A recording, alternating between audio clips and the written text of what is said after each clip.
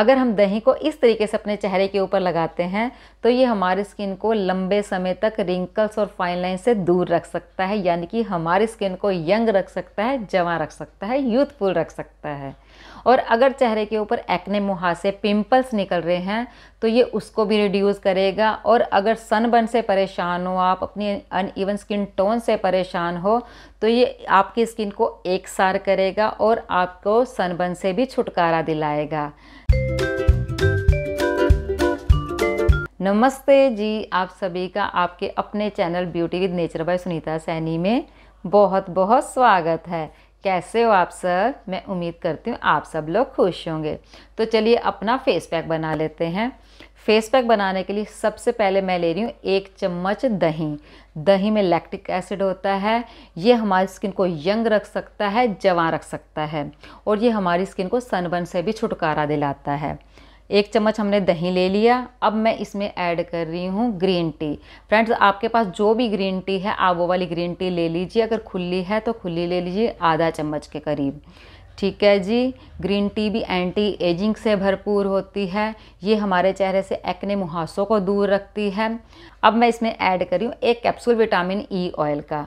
अगर आप vitamin E oil नहीं डालना चाहते, अगर आपको सूट नहीं करता तो आप चार से पाँच बूंदे नारियल के तेल की डाल लीजिए या बादाम के तेल की। जो भी आपकी स्किन को सूट करे, जो भी ऑयल आपके पास हो, आप वो इसमें डाल लीजिए।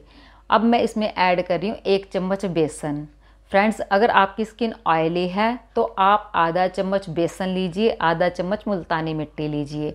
फिर आप इसका इस्तेमाल कीजिए। क्योंकि ये जो बेसन और मुल्तानी मिट्टी है, ये हमारे चेहरे से एक्सेस ऑयल को निकालता है। ये उस ऑयल को निकालता है जिसके कारण हमारी स्किन के ऊपर एक्ने मुहासे आ जाते हैं ब्लैक हेड्स वाइट हेड्स हो जाते हैं और हमारी स्किन बहुत ज़्यादा डल दिखाई देती है चिपचिपी सी दिखाई देती है। ये वो एक्स्ट्रा ऑयल को निकालता है, हमारे नेचुरल ऑयल को बिल्कुल भी नहीं छेड़ता। फ्रेंड, जब भी आपने इस फेस पैक को लगाना है, आपने इसको आधा घंटा पहले बनाकर रख लेना है, ताकि इसमें हमने जो ग्रीन टी ऐड की है, वो अपनी सारी गुडनेस इस दही के अंदर छोड़ दे। ठीक है जी? लास्ट में मैं ऐड कर रही हूँ, चुटकी भर कस्तूरी हल्दी। फ्रेंड, चुटकी भर हल्दी लेनी है, ज़्यादा हल्दी नहीं लेनी। अगर आपके पास कस्तूरी हल्दी नहीं है तो आप किचन वाली हल्दी ले सकते हो, जिससे आप खाना बनाते हो। लेकिन आपने वो भी चुटकी भर लेनी है, ज़्यादा नहीं लेनी। अगर आप हल्दी का इस्तेमाल करते हो, एक तो ये हमारे एक्ने मुहासों के लिए बहुत अच्छी होती है, हमारे रंग को निखारती है, हमारी स्किन के ऊपर एंटी एजिंग का काम भी करती है, शायद ये बहुत कम लोग जानते हैं। अब हमने इसको अच्छे तरीके से मिक्स करके आधा घंटा रेस्ट के लिए छोड़ देना है। अब आधा घंटा हो गया हमारे फेस पैक को बने, अब हमने इसको लगाना कैसे है? इसको लगाने से पहले मेक श्योर sure आपका फेस बिल्कुल साफ़ हो फेस के ऊपर किसी तरह का कोई मेकअप ना लगा हो या आप बाहर से ना आए हों।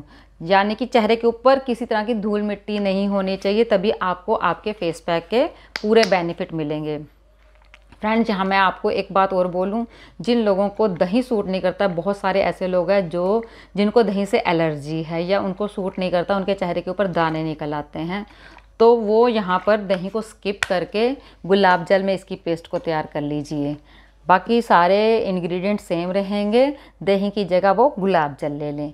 ठीक है जी? अब हम अपना फेस पैक लगाएँगे। फ्रेंड्स, ये फेस पैक एंटी एजिंग से भरपूर होने के साथ साथ हमारे चेहरे के ऊपर ग्लो लाएगा, चेहरे के दाग धब्बों को लाइट करके स्किन को ब्राइट बनाएगा। ये हमारी स्किन को नेचुरल तरीके से मॉइस्चराइज भी करेगा। वीडियो देखते देखते अगर आपको वीडियो पसंद आ रही तो जल्दी से एक लाइक कर दीजिए। आपका एक लाइक मुझे बहुत मोटिवेशन देता है कि मैं आप सभी के लिए और अच्छी अच्छी वीडियो बनाऊँ। फ्रेंड्स अगर आप पहली बार चैनल पर आए हो तो चैनल को सब्सक्राइब भी ज़रूर कीजिए। पास बने बेल आइकन को भी प्रेस कर लीजिए, ताकि जब मैं नई वीडियो डालूं, उसकी नोटिफिकेशन आपको बहुत आसानी से मिल जाए।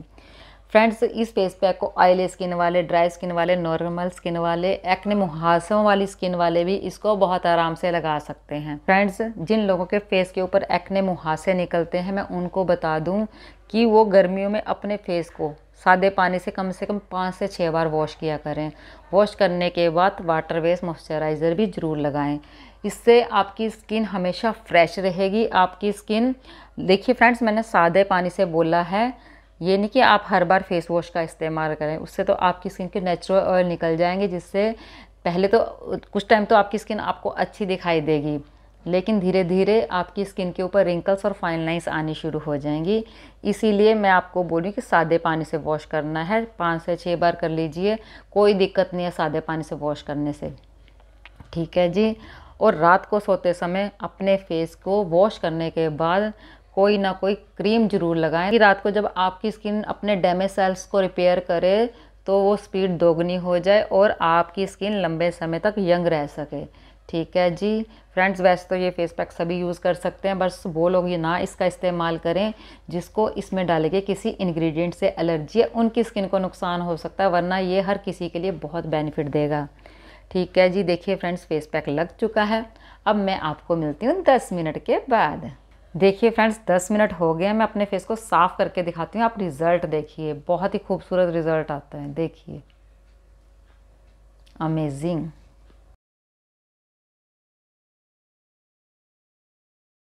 अब मैं अपने फेस को वॉश करके आती हूँ और आपको दिखाती हूँ इसका फाइनल रिज़ल्ट रिज़ल्ट बहुत प्यारा रिज़ल्ट है फ्रेंड्स अब टाइम अपनी स्किन को मॉइस्चराइज करने का। मैं अपनी स्किन को मॉइस्चराइज करने के लिए अपना बनाया मॉइस्चराइज़र ले रही हूँ। आप भी फेस को वॉश करने के बाद स्किन को मॉइस्चराइज ज़रूर किया कीजिए। तो आप भी इस प्यारे से अमेजिंग से फेस पैक को बनाएँ, अपने चेहरे को बुढ़ापे से बचाएँ। तो फिर मिलेंगे हम अपनी नेक्स्ट वीडियो में, तब तक के लिए बाय बाय